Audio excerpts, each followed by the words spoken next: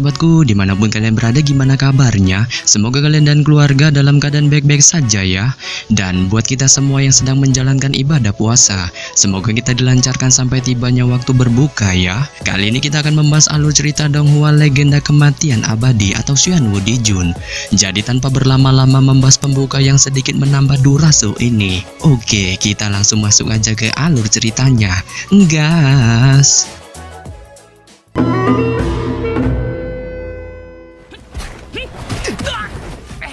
Berjalan di keningan malam dengan diliputi suasana hati yang hancur atas pengusiran sekte yang sangat dicintainya. Ye Chen pun mulai mengingat semua kenangannya di sekte Jengyang yang salah satunya kebucinannya bersama Ning Suang. Aduh, tetapi di tengah perjalanan luntang-lantungnya ini, sebuah meteor jatuh di depannya, menyebabkan Yajan spontan mendatanginya dan menemukan sebuah api sejati di TKP jatuhnya meteor sebelumnya. Yang hal ini lantas membuat Yechen berpikir untuk menelan api itu. Namun dengan kondisi tubuhnya yang tidak bisa berkultivasi, Yechen merasa mustahil baginya untuk melakukan hal itu. Akan tetapi di tengah kemustahilan ini, api sejati itu secara mengejutkan menyatu di tubuh Yechen, menyebabkannya pada akhirnya Debar 可以收了你，我们相依为命，也回不去了。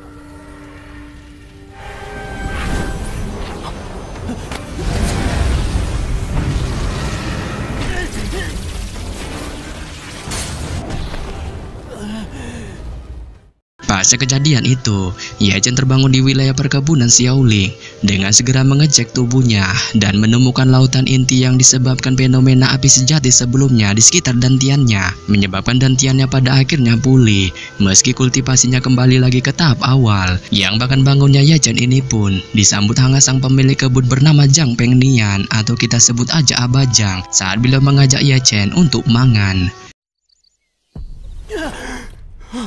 我虽然现在丹田恢复，功力回到了凝气一，这是当年小友叫我张伯便是。年轻人，你醒了，饿了吧？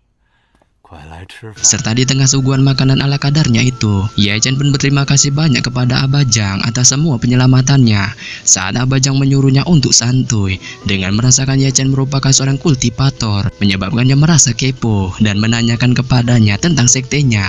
Namun di sini Yechen tampak tidak mau membongkar identitasnya dengan memberitahukan bahwa dirinya merupakan seorang pengembara tanpa sekte maupun paksi. Tetapi di tengah perbincangan ini, muncullah seorang murid tengik bernama Jangto. Saat dengan gaya selengeannya, ia mencoba memalak sebuah benda dari Abajang dengan tindakan brutalnya. Sampai-sampai tindakan bocil Hua yang mencoba melindungi kakeknya itu pun juga hampir ditonjoknya. Tetapi secara heroik, Yechen tiba-tiba menggagalkan hal itu. Saat tindakan Yechen ini pun spontan menyulut kemarahan Jangto, menyebabkan baku hantam pun segera terjadi. 小子，干什么？路见不何月宗的弟子，宁气二重。爷爷，人在做，天在看。你等着！ Setelah membereskan jangtung si Tengi, Yechen yang tampak penasaran menanyakan kepada Abajang tentang akar permasalahan dirinya dengan Jangto. Namun Abajang enggan menceritakan semua hal itu dengan hanya memberitahukan bahwa dirinya dulu merupakan tetua sekte Hengyu. Hal ini pun lantas membuatnya merekomendasikan Yechen untuk menjadi bagian murid sekte Hengyu. Saat Yechen yang mendengar ini tampak tertarik, tetapi ia merasa ragu dengan peraturan yang ketat pemilihan murid di sekte Hengyu. Namun di sini Abajang berniat akan menuliskan sebuah surat orang dalam kepada Yechen guna memberinya kesempatan untuk memasuki sekte Hengyu. 此事说来话长， 我写一封介绍信函，想写宗的弟子。当然有兴趣了，可是在这里先谢过前辈了。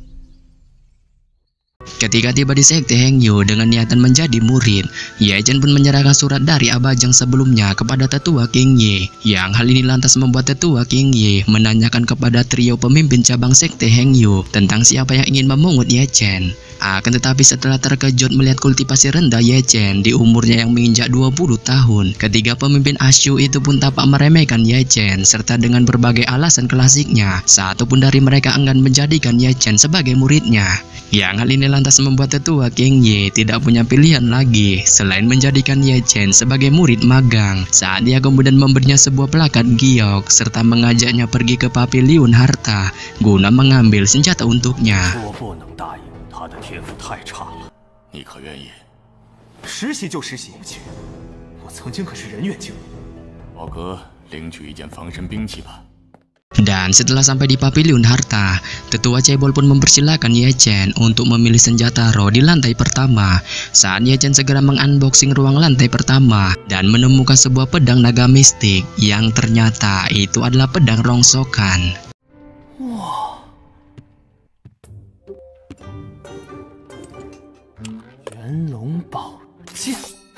Namun setelah mengunboxing semua senjata di ruangan ini, Ye Chen tidak menemukan sebiji pun senjata yang cocok untuknya, sehingga menyebabkannya tampak kelelahan karena tidak makan sahur. Sampai tibalah bola api sejati di dalam tubuhnya, menuntunnya ke ruangan senjata yang tampak mirip-mirip dengan penguasa Suan Mang Oyan bernama Pagoda Surgawi, menyebabkannya mencoba mengangkat senjata itu yang memiliki bobot seperti palu Thor. Namun setelah menempelkan tangannya di Pagoda Surgawi itu, Ye Chen secara mengejutkan tiba-tiba masuk ke dimensi pagoda saat ia segera dihadapkan oleh sebuah tantangan untuk menjinakkan pagoda itu sebagai senjatanya dengan melawan kesadaran pagoda surgawi berbentuk jin iprit.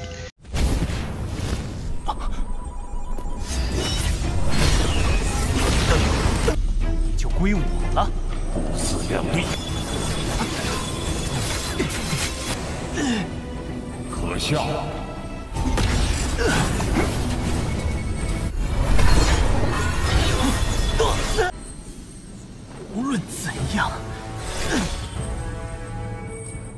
Namun di tengah pertarungan itu, Ye Chen tampak kewalahan menghadapi gempuran kesadaran pagoda saat dia tanpa basa-basi segera mengeluarkan api sejati di dalam tubuhnya.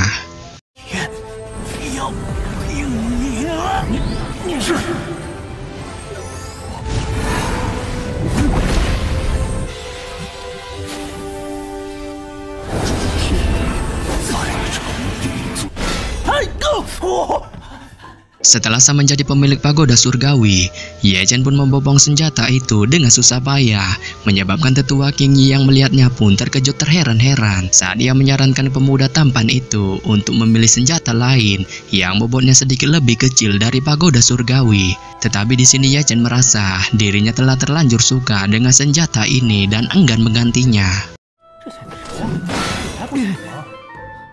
赶紧扛走吧。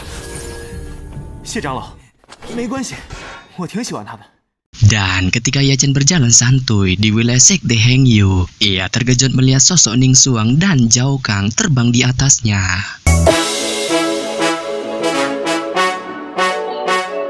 Yap, yap, yap.